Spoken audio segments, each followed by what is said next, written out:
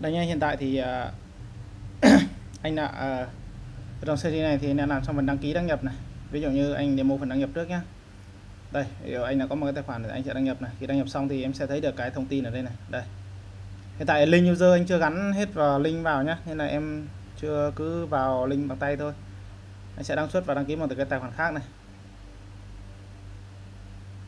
Đăng ký này. Demo 2 demo 2 account gmail.com mật khẩu này. Đấy là cái thành công này em nhìn thấy chưa? Ở đây mình sẽ gì? Ở đây em có thể là thêm việc làm yêu thích nhá. Đây đấy. Mình hiện tại mình cũng có thể là ứng tuyển. Đây em cũng có thể là ứng tuyển này. Hiện tại nó sẽ có một phần là upload bằng uh, thêm một cái file CV nữa, nhưng mà hiện tại thì anh chưa chưa làm cái phần upload bằng à, cái CV từ máy lên, nên tạm thời mình cứ demo phần ứng tuyển. Là mình là mình sẽ lưu thông tin này. Còn một cái input nữa ở đây là mình sẽ upload file CV lên từ máy lên, nhưng mà anh chưa làm cái phần đấy. Đây, tôi chưa có kinh nghiệm. Tôi chưa có kinh nghiệm. Đấy, nộp hồ sơ này. Đây, nộp hồ sơ thành công nhá tiếp theo nữa là gì? Tiếp theo nữa là ở đây em muốn vào phần uh, phần user này. Đấy. Ờ, đây là có danh sách em ứng tuyển này. Đây em vừa mới ứng tuyển một cái này em có thể xóa đi.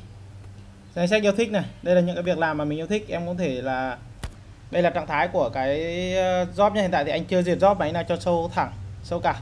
Sau này mình sẽ duyệt tất cả các job mà đăng lên admin phải duyệt. Đấy ở đây em cũng có thể là xóa đi hủy hủy bỏ này. Đấy ở đây còn tính năng cập nhật mật khẩu nữa thì anh chưa làm. Ở đây đăng xuất thì đã có rồi. Để vào phần em ML có nghĩa là nhà tuyển dụng. Đây. ML thì hiện tại đã có là cập nhật thông tin công ty này, tên công ty này. Có thể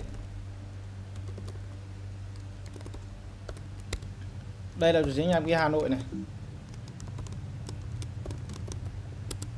Ở đây thì chọn ngành nghề chính thì nó sẽ là một công ty thì nó sẽ có nhiều ngành nghề.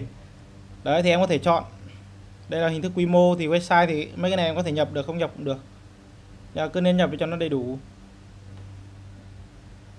Đây giờ làm việc này logo này.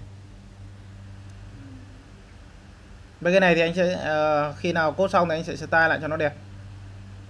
Tạm thời thì anh chưa chưa style mô tả chưa cập nhật chưa có gì. Đây. Đấy khi em cập nhật xong thì nó sẽ có hết cả thông tin ở đây. Danh sách job của mình này đấy em nhìn thấy danh job cũng chưa có em có thể thêm job này. Nhân viên kinh doanh bán hàng. Địa chỉ cụ thể là Ba Đình Hà Nội này. Mô tả là đang cập nhật em cứ đang cập nhật đi. Đang cập nhật Đấy, như thế. Cho ngành nghề này kinh nghiệm làm việc này. Có OT hay không này. Các bậc này. Hình thức làm việc thì có các hình thức sau. Mức lương ở đây là ví dụ như kiểu mà 3 triệu đây. Đây 3 triệu. Thời hàn hộp hồ sơ này. Email. Đấy xử lý thông tin. Em sẽ vào danh sách job để xem thử. Đây mình đã có một cái job rồi. Chờ duyệt ở đây trong admin nó sẽ duyệt nhá. Ví dụ như trong admin ở đây hiện tại anh cũng chưa login chưa check login phần admin ở đây sau này. Admin nó sẽ phải login vào nhá. Đây um, job này đây, em nhìn thấy là có một cái job kinh doanh này, edit này, trạng thái này, duyệt này, đã duyệt này, xử lý. Đấy, thì đây là có những cái thông tin anh vẫn chưa sâu hết. Đây là những cái thuộc tính nhá. Đây, ví dụ như một bảng thuộc tính mình sẽ chia phân loại là kinh nghiệm làm việc này, cấp bậc này, hình thức làm việc. Còn đây là phần ngành nghề này. Thì ngành nghề là có các ngành nghề chính thì cái này sau này anh sẽ làm luôn cái phần thêm sửa xóa cho ngành nghề. Quản lý ứng viên ứng viên có nghĩa là ở ở đây chúng ta mình sẽ có tất cả các quản lý các user ấy. Đấy. Các user đăng ký thì mình sẽ có ở trong này. Ở đây user và ml là sẽ chung phần, chung một bảng thì mình sẽ check thai thôi nhé đấy, hiện tại ta, ở đây hình như cũng có cái search rồi. Em search là nhân viên này đây, thì nó sẽ ra hết tất cả những cái thằng nào nhân viên này. Những cái này thì anh chưa làm, anh mới chỉ làm xét theo tiêu đề thôi. Về link trên này anh cũng chưa gắn hết đấy. nên hiện tại em để ý cái URL trên, ở trên này mà vào.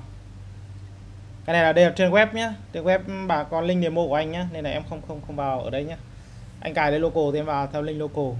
Link local là nó sẽ bỏ đi cái domain này đi. Đấy, là được.